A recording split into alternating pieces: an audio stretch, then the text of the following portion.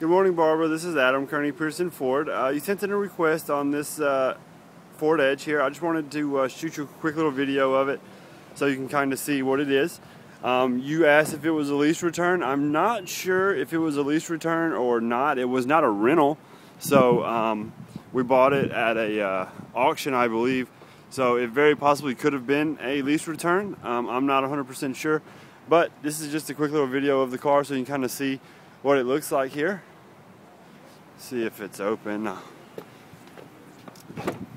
Give you a shot of the inside here. It has the camel interior.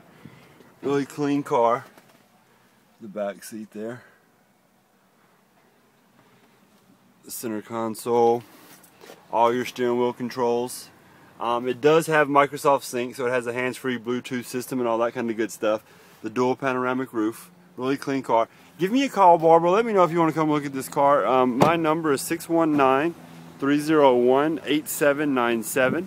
Again, my number is 619-301-8797. This is Adam at Kearny Mesa Ford. Thanks, Barbara. Have a great day. Talk to you soon. Bye.